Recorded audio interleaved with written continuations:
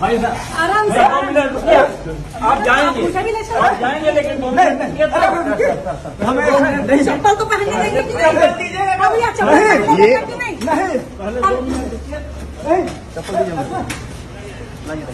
नहीं दो चप्पल नहीं जाऊँगा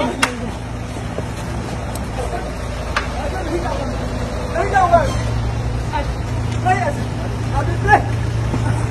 ऐसे नहीं जाऊँगा मैं मैं नहीं जाऊँगा ऐसे।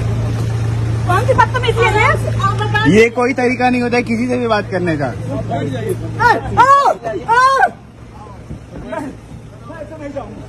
सर बैठ नहीं। मुझे एफ़ आई कॉपी दो। मुझे एफ़ कॉपी दो मैं से नहीं जाऊँगा। ये इलीगल है। साइन करवाते हैं। साइन करवाते हैं कहीं पे साइन करवाए ये देखिए। कारण ये देखिए।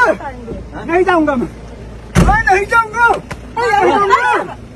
नहीं जाऊँगा नहीं हो ऐसे नहीं नहीं जाऊँगा मैं ऐसे नहीं जाऊँगा नहीं जाऊँगा नहीं जाऊँगा नहीं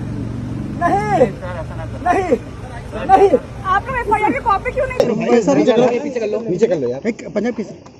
हजरतगंज कोतवाली पर एक अभियोग पंजीकृत किया गया है जी उसी के तहत उनको ले आया गया है पूछताछ जारी है उनको क्या गिरफ़्तार कर लिया गया है अभी पूछताछ जारी की है उसके बाद तदनुसार जो भी वैधानिक कार्रवाई है वो की जाएगी। किन धाराओं में एफ़ आई आर किस पूछताछ के लिए लाया गया है?